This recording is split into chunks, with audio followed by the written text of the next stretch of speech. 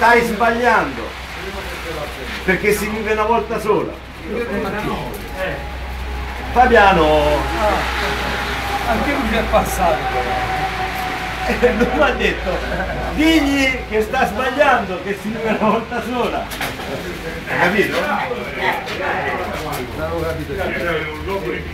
Eh.